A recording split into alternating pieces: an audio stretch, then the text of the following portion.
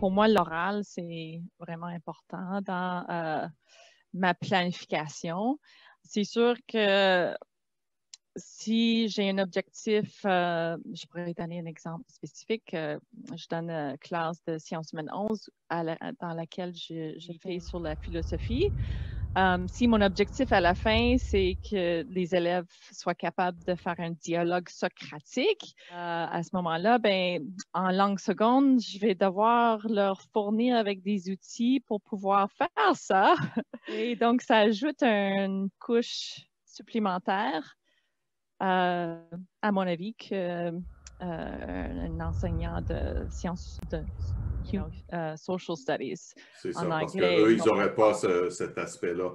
La communication, ça se fait tout au long de notre vie. On a toujours des améliorations à faire. Donc, oui, bien sûr, je crois que les stratégies qu'on peut leur apporter sont très utiles.